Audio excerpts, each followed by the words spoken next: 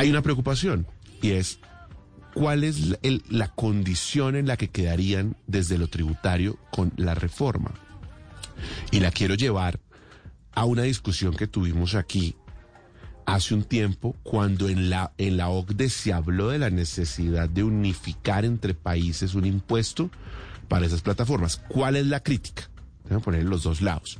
La crítica es, oiga, muchas de estas compañías vienen y facturan aquí, por ejemplo en Colombia, entonces venden la suscripción a la plataforma, películas, música, videojuegos, eh, ¿qué más? Facturan el tema del servicio de que lo llevan a usted de un lado a otro, bien sea en carro, patineta, lo que quiera, publicidad, muchas, ¿no? Las redes sociales. Y cuando usted paga, ¿qué hace? Pone su tarjeta de crédito. Esa plata no llega ni a Bancolombia, ni a vivienda, ni al Banco Bogotá, no a ninguno de los bancos. Esa plata sale y se pone en el exterior. Esto sale, eso es como una ventanita, le pongo como un VPN y la platica sale. Preguntas, ¿pagan impuestos? Aquí el director de la llave anterior nos decía, sí, hoy pagan algunas, pagan algunos impuestos, pero tienen que eh, entrar en un sistema mucho más equitativo frente a las compañías nacionales que en cambio pagan un montón de impuestos. ¿Qué dicen las compañías? Sí, yo le pago impuestos, pero no me ponga a pagar doble impuesto. Entonces le pago aquí y también en Estados Unidos o aquí también en Europa, entonces termino pagando doble impuesto. ¿Qué hacer? Y ahí es donde aparece la OCDE y dice, pongámonos de acuerdo entre países. ¿Qué no debe suceder? Que, los, que cada país ponga un impuesto de manera unilateral. Entonces Perú pone un impuesto, Colombia pone otro, ¿no? Eh, México pone otro y pues termina generando un desorden y un desgaste para las plataformas, para las compañías que tienen que montar una suerte de contador experto en cada país. El tema no es fácil. y en la reforma, en la reforma pareciera que hay allí asomado un artículo que pareciera uno de esos impuestos unilaterales. Pero que sea precisamente José Daniel López, quien además fue congresista, estuvo desde el lado por estos días y hoy es el presidente de Alianza en el gremio de las plataformas digitales, el que nos dio una aproximación a ese mundo interesante que podría perjudicar a compañías como Uber, como Didi, como Mercado Libre, como Amazon y muchas otras que todos usamos. José Daniel, bienvenido, buenas noches. Hola Juan Manuel, hola Ana Milena, un saludo a toda la mesa de trabajo de Blue 4.0 y a los oyentes. José Daniel, gracias por acompañarnos. Bueno, cómo están las plataformas asociadas eh, allá en Alianza IN, que están en todos los sectores que hemos mencionado en relación con la reforma. ¿Cómo la ven? ¿Les afecta? Bueno, pues vea, yo creo que acá nadie con un mínimo de sensatez puede oponerse a la idea de hacer una reforma tributaria. Primero porque las cuentas del país están desajustadas. La pasada tributaria del exministro José Manuel Restrepo ayudó a equilibrarlas pero todavía falta mucho en déficit fiscal, en pago de deuda, y también porque es verdad que este gobierno llegó con unas promesas, y esas promesas cuestan, y parte de la democracia pues es que los recursos se definen en función del sentido en el que la gente vota y más para la elección más importante que es la elección presidencial. Faltaba más. Entonces, que lo que voy a decir no suene una oposición general a la reforma tributaria. Lo que yo sí creo, y lo que creemos desde Alianza IN, es que la reforma tributaria no puede hacerse a expensas de la tecnología. Y ahí hay dos temas que nos generan una preocupación enorme. Uno que solo, pues creo que ustedes ya, ya han profundizado en este tema bastante y es el tema del impuesto al patrimonio y el impacto que tiene sobre las startups, sobre el emprendimiento tecnológico. Si usted pone al fundador de una idea tecnológica a que declare impuesto al patrimonio, calculando como si fuera propio del valor de unas empresas que, adquieren un valor nominal, es porque unos inversionistas de riesgo les metieron plata, lo que usted termina causando es o que ese emprendimiento no se anime a surgir, o que surja, pero surja en otro país y beneficiando tributariamente y seguramente beneficiando también en servicios a otros países y no a Colombia. Entendemos que en ese tema del digamos, del, del, del, impuesto contra las startups a través de, del impuesto al patrimonio, pareciera que el gobierno ha entendido la dificultad, se están construyendo en distintos, trabajando fórmulas de solución, y ese es un tema que aunque todavía no estamos listos para cantar victoria, siento que viene bastante avanzado. No hay que bajar la guardia, por supuesto. Y hay un segundo punto, Juan Manuel, y es el que usted mencionaba en su introducción. y es el tema de la tributación de las plataformas extranjeras. Y ahí quiero empezar diciendo algo subrayado en mayúsculas y con negrita. Y es que no se trata acá de decir que las plataformas digitales que reciben fiscalmente en otros países no quieran pagar impuestos en Colombia. De hecho, porque ya los pagan. Lo decía el director de la DIAN, eh, desde el año 2016, por ejemplo, todas estas plataformas, en el caso de mi gremio, plataformas como Uber, como TikTok, como Didi, pagan IVA desde el año 2016. Eh, a, ver, yo quiero tener, o sea, estas plataformas pagan IVA, o sea, pongamos un ejemplo, como diría Ana Milena Gutiérrez, Pongamos un ejemplo. Pongamos desmenucemos. Desmenucemos. Con ejemplos. desmenucemos. Es un método científico aprobado por la Universidad de Harvard, José Daniel. Totalmente. Y otras. Y otras. O sea, una persona que toma un servicio de una de las aplicaciones de movilidad, cuando le llega el servicio, ahí le aparece IVA. No me he fijado en eso. Sí, ahí, ahí le sale IVA por el servicio que le cobra la plataforma de movilidad y, esa, y el servicio, pues es el servicio de intermediación tecnológica por juntar a una persona que necesita moverse de un sitio a otro con otra persona que está dispuesta a moverla. es que ahí rompemos un primer mito, ¿no? Y es que las plataformas digitales no pagan IVA, que digamos plataformas, voy a poner ejemplos como Netflix, como Uber, como, como o sea, esas plataformas sí pagan IVA. Sí pagan. Sí, eso está desde el año 2016, eso fue el segundo gobierno Santos y eso está en la discusión. Pero ahora, en gracia de discusión, tampoco es nuestra postura decir, no, es que no, es que es el IVA y solamente el IVA. No, vea, en el mundo, porque esta preocupación no es solamente de Colombia, sino de muchos países, hay debates por un hecho que es cierto y que genera inequidades. Y es que una plataforma tecnológica, como cualquier empresa en el mundo, decide recibir fiscalmente en un país. Pero resulta que no solo prestan los servicios ahí, sino que los presta en varios países más pero a la hora del cobro del impuesto de renta, que es el impuesto que se deriva de alguna manera de esa residencia fiscal, pues ese recaudo tributario, esa platica, solamente le toca al país donde está la residencia fiscal. Entonces, incluso en el tema del impuesto de renta, que al final del día termina pagándose en algún lugar del mundo por parte de estas empresas que tienen presencia en varios países, vemos con muy buenos ojos la discusión sobre cómo los países en donde no residen estas empresas pero si prestan estos servicios, pueden entrar a contribuir por concepto de impuesto de renta. Esa discusión es bienvenida. El problema es que hay que saberla dar para no golpear la competitividad del país. Y me explico, y entro en detalle. La reforma tributaria crea una figura llamada presencia económica significativa.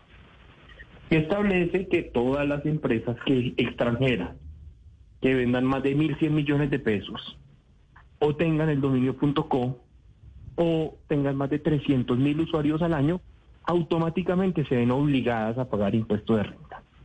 ¿Y cuál es el hecho fundamental ahí? Que si eso se aprueba, de aquí a diciembre, que es el tiempo en el que seguramente se aprueba la reforma tributaria, Colombia sería el primer país de América Latina en tener impuesto de renta para plataformas digitales que no residan en el país. ¿No hay más países que tengan este impuesto para ese tipo de plataformas? No, hay discusiones que se vienen dando, por ejemplo, en México, pero el impuesto o la ley no existe en ningún lado. José Daniel, estamos cerca de Colombia. ¿Y dónde queda esa? Es que no fue una regla, porque la OCDE no, puede, la OCDE no las puede imponer, son recomendaciones. ¿Dónde queda esa recomendación de la OCDE de que los países que hagan parte de la OCDE, como Colombia, se pongan de acuerdo en, en esa disposición? En un impuesto. Claro. Vea, la recomendación de la OCDE es de sentido común. ¿Qué pasa si un país como Colombia dice yo voy a ser el pionero y voy a ser el único que le va a cobrar impuesto de renta a las plataformas digitales? Pues seguramente las que están no se van a ir, van a encarecer el servicio. Y eso tiene un impacto, por ejemplo, en pequeñas y medianas empresas que utilizan estas plataformas muchas veces para pautar, para publicitar y para existir. Entonces esto encarece el emprendimiento digital, no el grande, el pequeño, de una manera importante. Pero el problema no es solo ese. El problema es que la plataforma digital de mañana, la que no nos imaginemos, pero que la esté rompiendo dentro de 5 dentro de 10 años, cuando vaya a llegar a América Latina, no va a llegar a todos los países al tiempo, sino que va a escoger tres destinos de inversión, va a escoger cinco destinos de inversión, y va a haber el listado de países latinoamericanos. Y vamos a tener uno que es el único que le cobra impuesto de renta a las plataformas digitales y es Colombia, adivine dónde no va a invertir. No, claro, porque se hace cero atractivo. Cero, sí, sí, se vuelve atractivo en valor negativo. Porque seríamos los únicos y seguramente si el camino acá es unilateral, pues así como hay países como Colombia que van a volverse muy costosos para la inversión en tecnología, va a haber otros que seguramente van a poner incentivos tributarios para que estas plataformas lleguen, lo cual nos va a dejar Ana Milena en una situación muy desventajosa. Luego, por eso es tan importante la recomendación de la OCDE. Es que esa recomendación le sirve a los países miembros y a los que no son miembros. No se trata de que nos toque hacer caso, se trata de, digamos, un tema de, lógica elemental. Y es que si cada país emprende el camino de las decisiones unilaterales, vamos a caer en un canibalismo tributario que va a ayudarle mucho a unos países y va a perjudicar a otros. Pero entonces, José Daniel, ¿en qué queda la recomendación de, la OCDE? Porque eso suena muy, sí, sentido común y demás, pero si no se llega a un acuerdo eh, y mientras tanto nosotros avanzamos con la reforma tal como está, pues efectivamente vamos a tener esas desventajas frente a los otros países de la región. Eh, ¿Qué pasa con esa recomendación? ¿Qué, qué, qué dicen en los otros países? No, pues a ver, la OCDE diseñó un programa que busca resolver justamente el problema de, la, de, los impuestos digitales eh, y de las inequidades que hay entre países que son sede fiscal de las plataformas y los que no, pero que igual allá se presta el servicio. Y ese programa se llama BEPS. Ese programa lleva varios años en desarrollo. Se espera que el año entrante termine de ser diseñado, que se ratifique y que entre en vigencia a partir de enero del 2024. Ese programa establece la forma en la cual los países OCDE con un acuerdo multilateral abarcante, distribuyan ese recaudo. Y eso se basa en una regla básica, y todos nos acogemos al Tratado OCDE, ningún país se va solo por su cuenta para coger ventaja o para perder terreno como le correspondería a Colombia si llega a aprobar la reforma, la, la reforma tributaria con este punto. Entonces, acá hoy la responsabilidad es del gobierno y es del Congreso de no ahuyentar la inversión en tecnología. Inversión en tecnología significa más empleo y empleo de calidad y empleo bien remunerado. Más inversión en tecnología significa más oportunidades para el consumidor digital, mayor libertad de elegir y esto es lo que se pone en juego. Esto termina en que, uno, en que por ejemplo los servicios de las plataformas que ya están se encarezcan o no. E, eso le iba, eso le iba a plantear. Que el día de mañana tengamos más opciones. Ese, ese efecto inmediato de establecer impuestos adicionales a las plataformas digitales no localizadas en Colombia podría entonces encarecer los servicios. Entonces, un servicio de Netflix o una eh, carrera de estas en, en, Uber o en Didi tendría un costo adicional. Pues vea, sin entrar en casos particulares, porque ya cada empresa tendrá que resolver los, digamos, las consecuencias de la tributación nueva pero si algo sabemos perfectamente es que cuando usted encarece un tributo, el que termina pagando es el usuario porque el precio termina aumentando. Y eso es verdad para la gasolina. A propósito de la discusión en la que está Colombia sobre, digamos, sobre el subsidio a la gasolina, eso es verdad para la tecnología. Luego el encarecimiento para financiar un nuevo impuesto, pues sí termina impactándose al consumidor digital y ahí sobre todo termina impactando a pequeños y medianos empresarios o a personas naturales que utilizan estas plataformas como medio de generación de ingresos. Oiga, es que el panorama no puede ser más desafiante, ¿no? Eh, José Daniel Milena y oyentes. La luz por las nubes, las, tarifas de energía de la costa caribe, por ejemplo, el caso de Cartagena, vaya usted al centro, al centro histórico sí, y a las zonas, zonas turísticas, esto es impresionante. Sí, es, una exageración. Entonces, ya por tarifa de energía, tome usted una barrera de entrada al mundo digital. Pero además, las tarifas eh, de servicio de telefonía móvil y de Internet, no lo digo yo, es un estudio del Centro Nacional de Consultoría dice que una de las barreras de entrada es que a las personas les parece caro el Internet. Pues, no hay nada que hacer. Pues, dos, ahí tiene usted otro problema. Más la inflación, que pues está afectando a todos. Entonces, tres, ¿no? Eh, y ahora esto podría suceder, y es que además las suscripciones de las plataformas se encarezcan vía impuestos. Cuatro, o sea, así no vamos a conectar, así no vamos a apropiar a nadie pues de estas vainas digitales. Esto va a ser un privilegio de pocos, ¿no? Pues sí, porque además usted tiene que elegir prioridades en algún momento, porque además no solamente eso es lo que está subiendo, sino todo lo demás. Transmilenio. Entonces, gasolina y bueno. Y la eh, gasolina costosa por otro lado, entonces no. Exactamente, sí. Pero, pero, sí es un reto importante y, y, yo no sé si, si a propósito del plan de lo que estaba, de lo que se tiene planteado para ese 2024 por parte de la OCDE, pues ya después tenga, si, si aquí ese punto queda, tal cual, José Daniel, después eh, el país podría, eh, digamos, entrar en, esa propuesta o ya después de eso quedar en la reforma tributaria, así se quedó. Y no hay forma de cambiar. Ana, Milena, toda ley es susceptible de cambiar, pero nos implicaría tramitar dos leyes. Una ley para desandar lo andado en esta reforma tributaria y eliminar lo que se pretende crear y segundo, una ley para ratificar el convenio de la OCDE. Así que puede salirnos más, más caro el collar que el perro. Creo que, claro. ahora, sí me parece muy importante señalar que estamos completamente a tiempo de corregir este hierro. Nosotros hemos venido preguntando cuál es la expectativa de recaudo, cuánta plata esperan recaudar con esta figura. ¿Y ustedes tienen alguna propuesta? Sí, pues nosotros lo que decimos es que hay que seguir el camino de la OCDE. Lo que no podemos es emprender el camino de tomar decisiones unilaterales.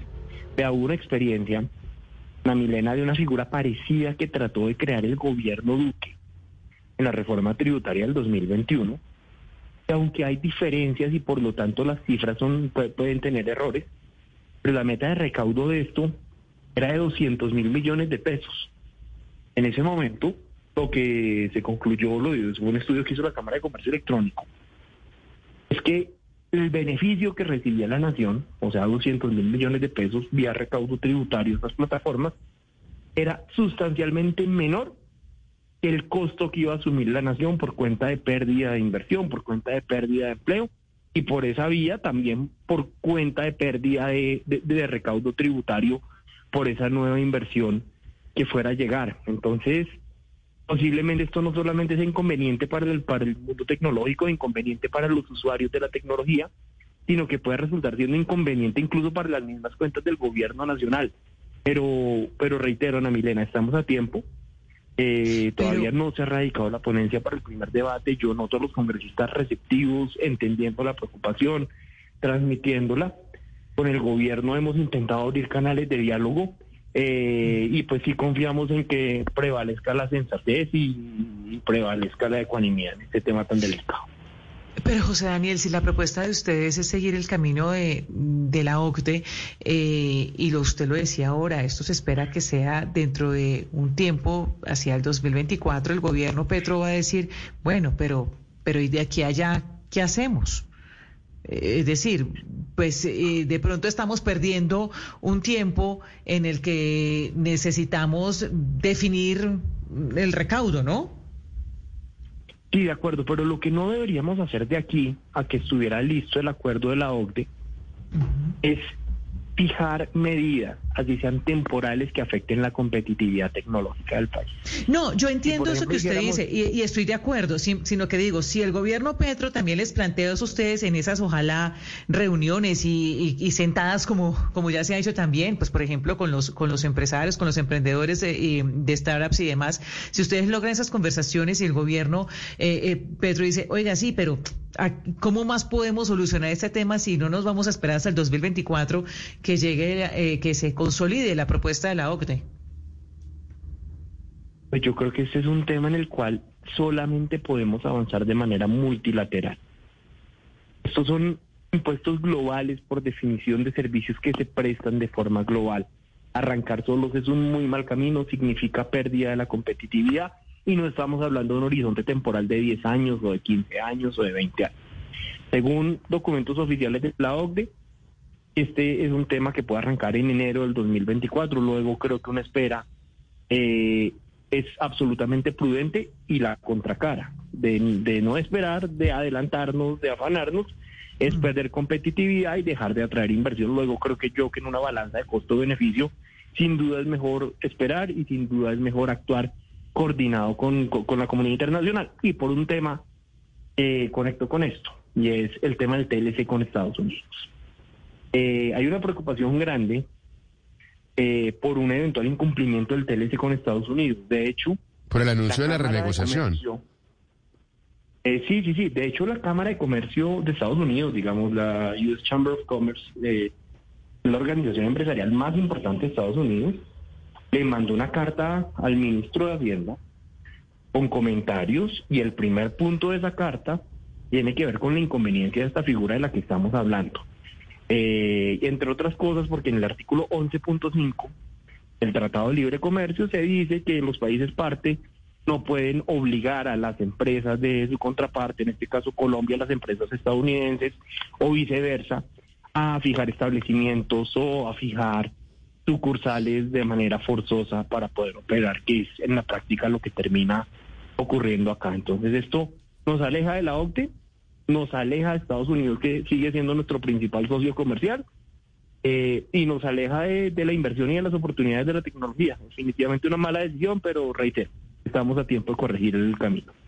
Sí, digamos, el ejercicio democrático de trazar estos, y usted sí que lo vivió, José Daniel, de su labor como congresista en el Congreso, pues es establecer con argumentos una, una, una hoja de ruta, sí, pero también algunas posibilidades que permitan suplir, es que imagínese el dilema, suplir el propósito del gobierno, que es llegar a 25 billones, es una cifra menor y eso que ya ha bajado, de recaudo o sea, la política, lo que yo llamo el todos ponemos. Todos ponemos, es usted, yo, ciudadanos, emprendedores, todo el mundo pone, pero sin que sacrifique su sostenibilidad en el tiempo. Entonces, ¿cómo logra usted que la gente pague impuestos, pero sin que se ahogue?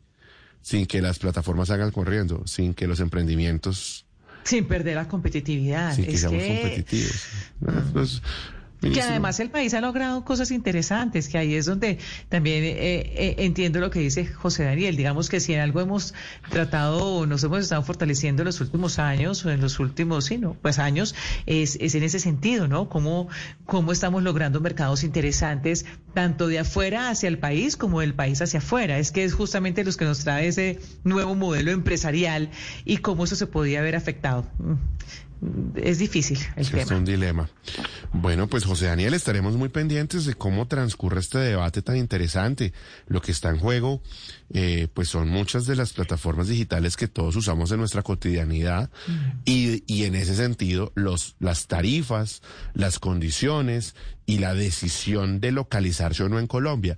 De eso depende que usted diga a veces la crítica es, es que aquí llegan y abren oficinas comerciales, ¿no? Si queremos que hayan programadores y que aquí vengan a hacer innovación y que se queden y, y crezcan acá, pues hay que ofrecer condiciones favorables. Y tienen que poner. Esto es de los dos lados. Ponga, pero siendo competitivos. José Daniel, gracias.